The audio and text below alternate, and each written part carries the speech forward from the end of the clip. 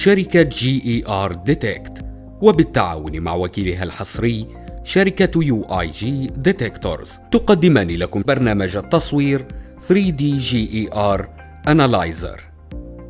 شغل الجهاز اللوحي.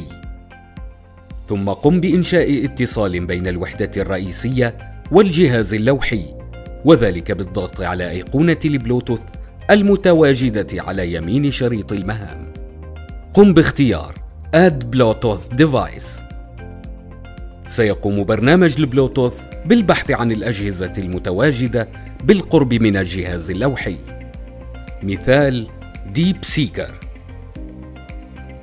قم بالضغط عليه ثم اختر Pair ستظهر نافذة لإدخال كلمة المرور وهي الرقم 1000 اضغط على زر Next لإتمام عملية الاقتران بين الجهاز اللوحي والوحدة الرئيسية.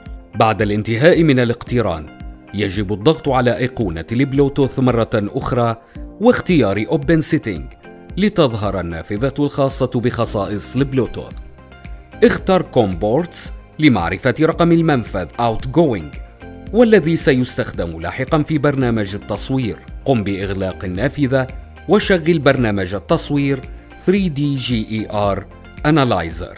بعد فتح البرنامج قم بالضغط على أيقونة تصوير جديد.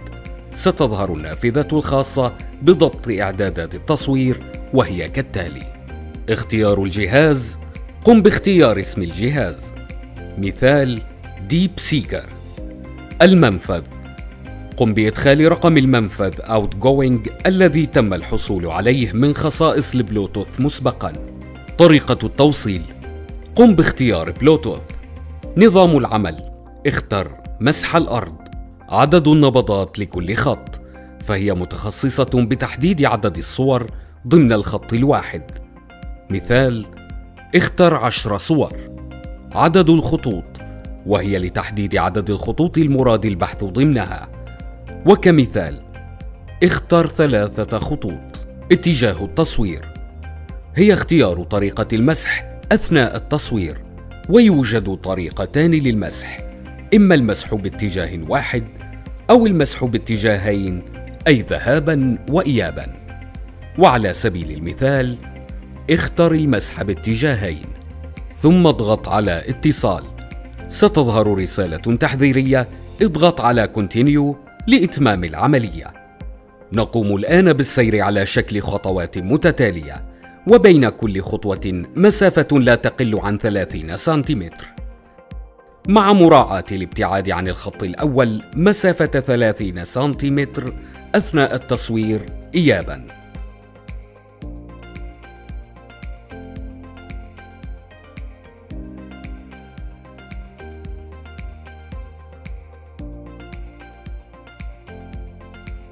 مع الضغط على زر التصوير لكل خطوة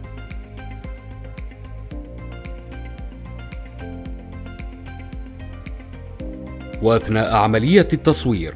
ستظهر على شاشة الجهاز اللوحي صورة ثلاثية الأبعاد للهدف الذي يتم تصويره. بعد الانتهاء من عملية المسح ستظهر لدينا صورة متكاملة ثلاثية الأبعاد حيث تكون الصورة مكونة من شبكة مربعات والتي تعبر عن عدد الخطوات والخطوط التي تم مسحها. مثال لدينا شبكة من الخطوط مكونة من ثلاثة صفوف وعشرة أعمدة. للحصول على معلومات تفصيلية لنقطة معينة داخل أي مربع، نقوم بالانتقال إلى هذا المربع ليقوم البرنامج بإعطاء البيانات التالية: عمق الهدف في باطن الأرض، رقم الصورة، رقم الخط، القيمة. نستطيع الانتقال بين مربعات الشبكة من خلال أيقونتي up down. لتخفيض ارتفاع الصورة استخدم أيقونة انخفاض وارتفاع الصورة. وتستخدم أيقونتي المثلث والنقطة لتمييز الصورة بشكل أوضح وتقليل الأملاح المعدنية المحيطة بالمعادن والفراغات وتقريب الصورة للشكل الهندسي. لفتح صورة تم حفظها مسبقا اضغط على أيقونة فتح ثم الضغط على زر.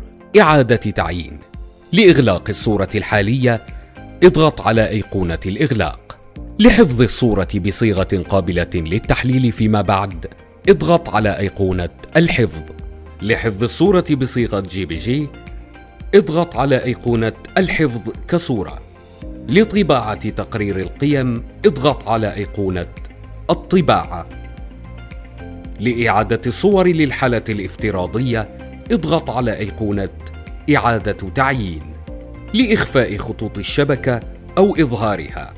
اضغط على أيقونة شبكة لتكبير أو تصغير الصورة. استخدم أيقونتي التكبير أو التصغير. لرؤية الصورة من عدة اتجاهات اضغط على مشاهدة لتظهر عدة خيارات. ملء الشاشة. وتعني إمكانية تكبير وتصغير نافذة البرنامج. رؤية عالية وتعني رؤية الهدف بشكل عمودي من الأعلى للأسفل.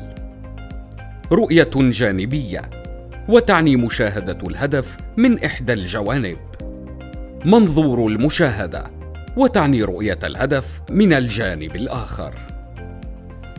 شريط الأدوات من خلاله يمكنك إخفاء أعمدة الأدوات والخيارات على يمين ويسار وأعلى البرنامج.